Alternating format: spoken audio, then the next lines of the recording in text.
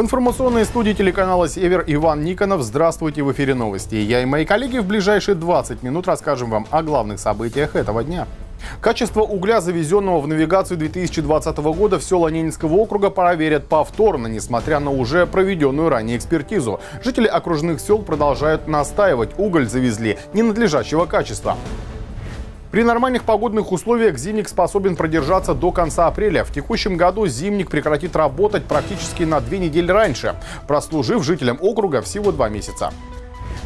Православные отмечают Благовещение Пресвятой Богородицы. Благовещение входит в перечень 12 важнейших христианских праздников после Пасхи.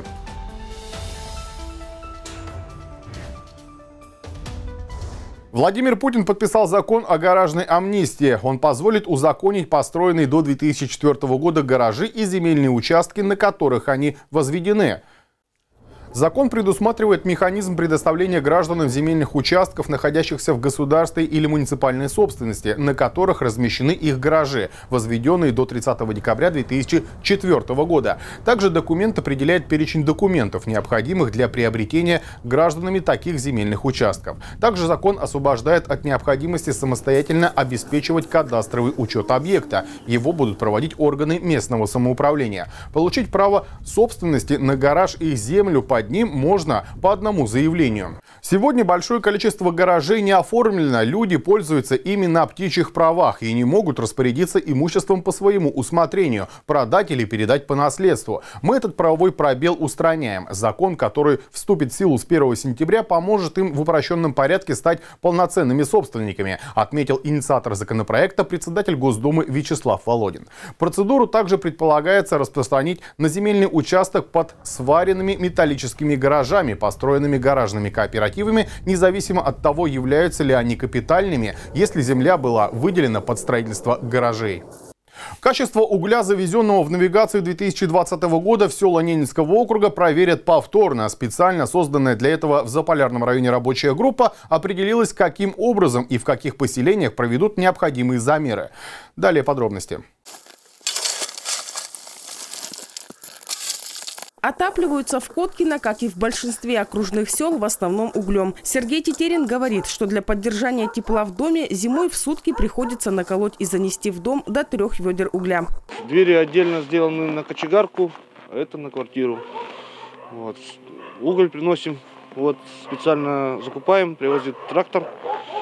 А потом зимой носим в ведрах, заносим кочегарку потому что котел только у каждого квартира своя, свой котел отдельно. У каждого уголь тоже также привозят отдельно и топим вот всю зиму.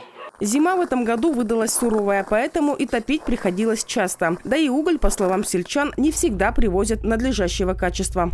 На некачественный уголь жители Ненецкого автономного округа стали жаловаться еще в декабре 2020 года. Тогда Севержилкомсервис организовал экспертизу угля в испытательной лаборатории Центра химических исследований в Москве. Результаты экспертизы показали полное соответствие угля ГОСТам. В прошлом году в окружные села было доставлено более 20 тысяч тонн каменного угля. Поставкой и перевозкой угля занималась Ненецкая нефтяная компания, с которой по итогам конкурсных процедур был заключен договор на поставку энергоресурсов ресурсов в населенные пункты НАО. Информация о соответствии угля ГОСТу не убедила сельских жителей. Они продолжают настаивать. Уголь завезли ненадлежащего качества. Очень много жалоб в социальных сетях от жителей населенных пунктов по качеству каменного угля.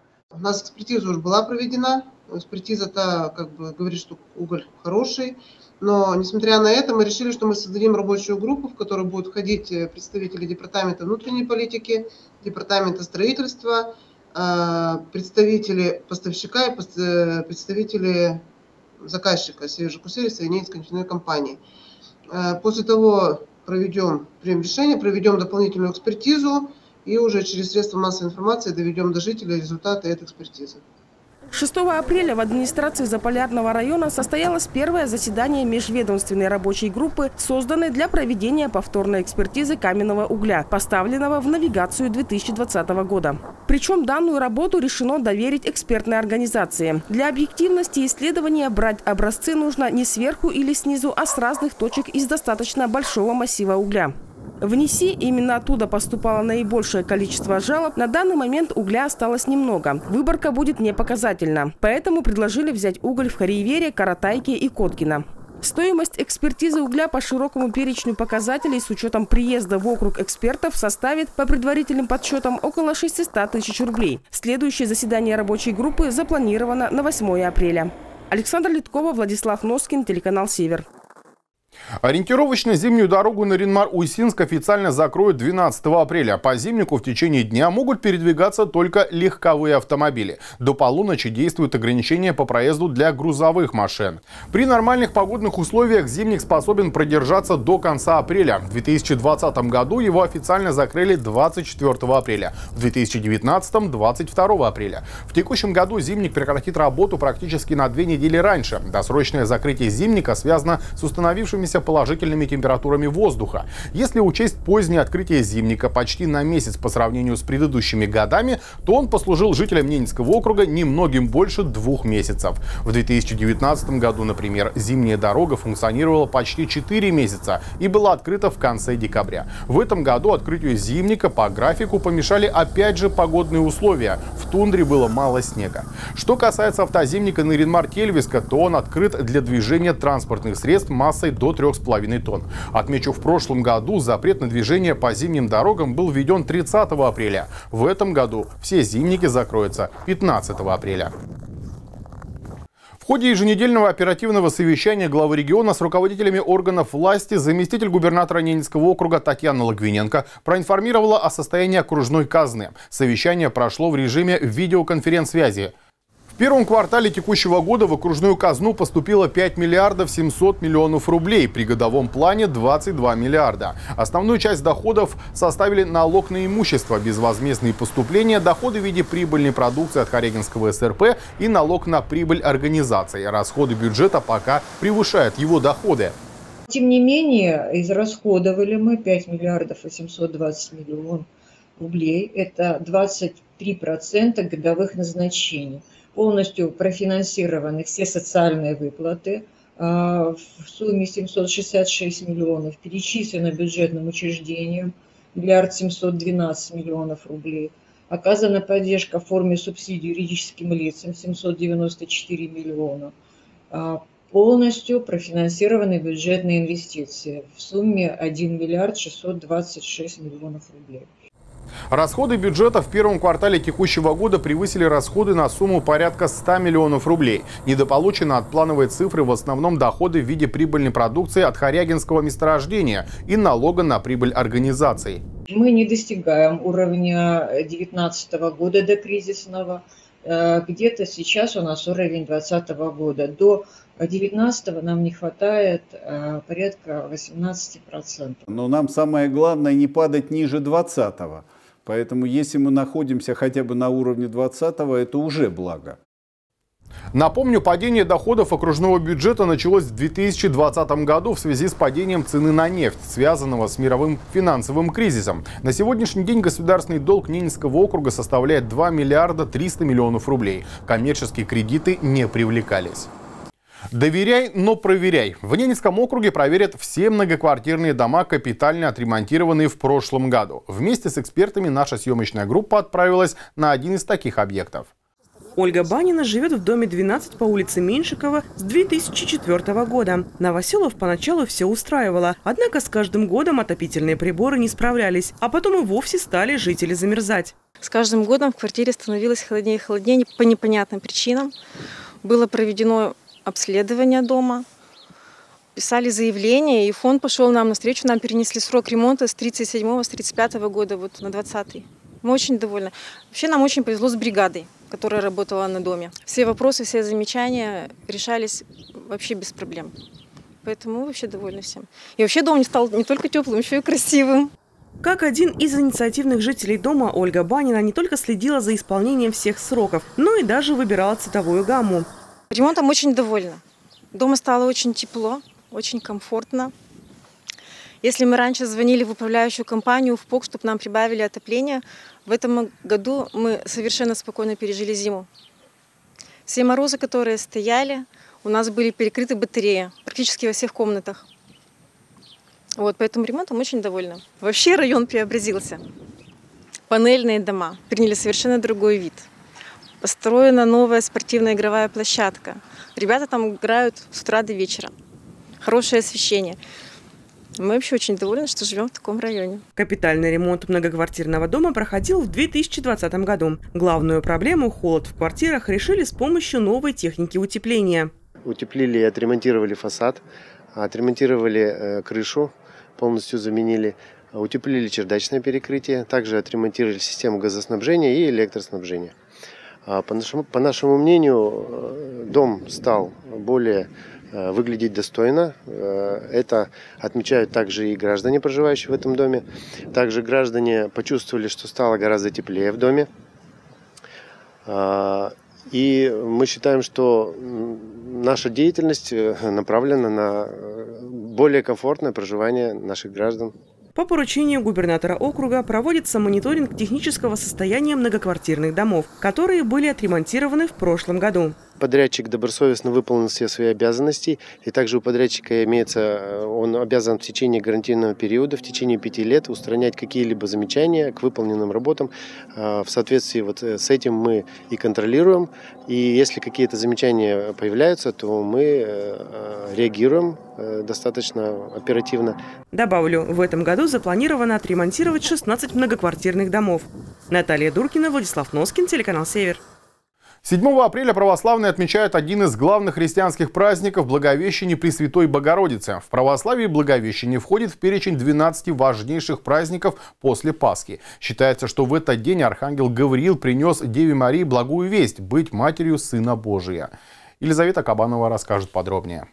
Благовещение Пресвятой Богородицы – один из 12 главных праздников православной церкви. Среди прихожан в этот день принято ходить в храмы, молиться, заниматься благотворительностью и подавать милостыню. В этот день мы чтим Пресвятую Деву Богородицу, который возвестил радостную весть – Архангел Гавриил. Мне посчастливилось быть в Назарете – и не один раз во время своих экспедиций на Святую Землю, и вчера на службе, и сегодня, когда мы служили Божественную литургию, особое чувство сопричастности к этой великой тайне и величайшей радости, объемлющей человеческие сердца, живущие верой, вновь меня посетило – Официально Благовещение начали отмечать в VI веке, когда византийский император Юстиниан назначил дату праздника на 25 марта. По новому стилю это 7 апреля. Церковь воспевает эти чудные слова, которые принес с небес Архангел Гавриил, Деве Марии. «Радуйся, благодатная, Господь с тобою». Они относятся к каждому из нас – кто живет, кто проходит этот земной путь с верой во Христа Спасителя. Сын Божий появился на свет ради искупления всего человечества от греха. Слова Архангела Гавриила стали первой радостной новостью после изгнания Адама и Евы из рая. Именно с Благовещения начинается земная история Иисуса Христа Спасителя, поэтому этот день особенный для христиан. К торжеству божественной правды, который так взыскует каждое человеческое сердце – живущие любовью, верой, надеждой. Бог всем вам помощь и с праздником, с Благовещением Пресвятой Девы Богородицы. Елизавета Кабанова, Владислав Носкин, телеканал «Север». За минувшие сутки в регионе не зарегистрировано новых случаев заболевания COVID-19. Об этом сообщили в управлении Роспотребнадзора по Ненецкому округу. Таким образом, с начала пандемии в регионе официально зарегистрированы 1092 подтвержденных случая. По данным медицинских организаций, за прошедшие сутки выздоровели два пациента. На сегодняшний день на лечении под наблюдением с диагнозом COVID-19 находится 17 пациентов. Из них в стационаре получают лечение 4 человека. Находится на амбулаторном лечении 13. В регионе зарегистрировано 4 летальных исхода от коронавируса. Напомню, что в Ненецком округе действует режим повышенной готовности, масочный режим. Задать вопросы, связанные с COVID-19, можно на региональной горячей линии по коронавирусу по короткому номеру 122. Звонок бесплатный, адрес мобильных и городских телефонов. В регионе продолжается вакцинация населения от коронавируса, в том числе и в поселениях округа. 7 апреля вакцину доставили в Амдерму и на островной Варнек. В ближайшее время в регион поступит новая вакцина от коронавируса Эпивак Корона. Более 8 тысяч доз. Вакцина разработана Новосибирским центром «Вектор». Новая вакцина не требует особых температурных условий, а это значит, что ее будут проще доставить в села округа. В настоящее время привито 9% населения Ненецкого округа. Сделать прививку от коронавируса могут все желающие жители в возрасте от 18 лет и старше, не имеющие противопоказаний. Проведение дополнительных исследований на антитела коронавирусной инфекции перед вакцинацией не требуется. Жители Ненецкого округа могут проголосовать за наиболее удобные сроки весенней охоты на водоплавающую дичь. В Ненецком округе сроки весенней охоты определяются с учетом климатических условий текущего года. Опрос на своей странице ВКонтакте проводит Департамент природных ресурсов и агропромышленного комплекса Ненецкого округа. Охотники могут выбрать сроки для западного, центрального и восточного участков. Весенняя охота в соответствии с правилами охоты продлится в течение 10 дней. Даты для каждого участка разные. Так, на западе округа можно выбрать сроки охоты с 7 по 16, с 14 по 23 или с 21 по 30 мая. На востоке с 15 по 24, с 22 по 31 мая или с 28 мая по 6 июня. На центральном участке можно начать охоту с 14 по 23, с 21 по 30 мая или с 25 мая по 3 июня. Опрос на странице профильного департамента продлится до 12 апреля.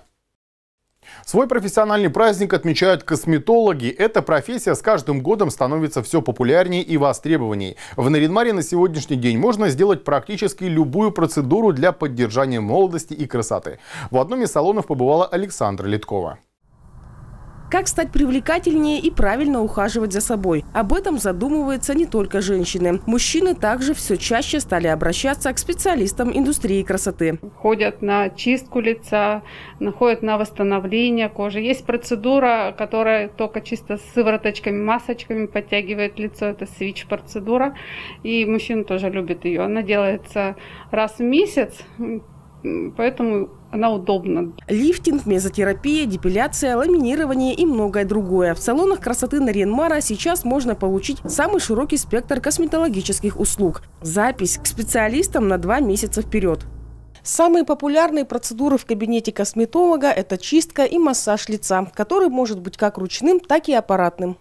По словам Елены Гусевой, для того, чтобы подольше сохранить молодость, начинать ухаживать за собой нужно как можно раньше, а опытные косметологи помогут выбрать нужные процедуры. Это не зависит от возраста, это зависит от состояния кожи и души, так скажем. А, есть э, девочки, подростки начинают уже ходить к косметологу, потому что им нужен уход за кожей. А, есть женщины, которые уже в возрасте считают, что у них кожа идеальная, и они не хотят ничего делать, ничего в себе менять. Никто не осуждает человека, потому что он решает сам для себя, что ему нужно, что он хочет. Самое ведь главное, это у нас э, уход и если он необходим, это уже не от возраста зависит. День косметолога в России – праздник молодой. Он был учрежден в 2009 году, когда и была утверждена специализация косметология. Ну а 9 сентября работники данной сферы отмечают Международный день косметологии и красоты. Александра Литкова, Вадим Стасюк, телеканал «Север». Это были новости на телеканале «Север». Далее смотрите прогноз погоды.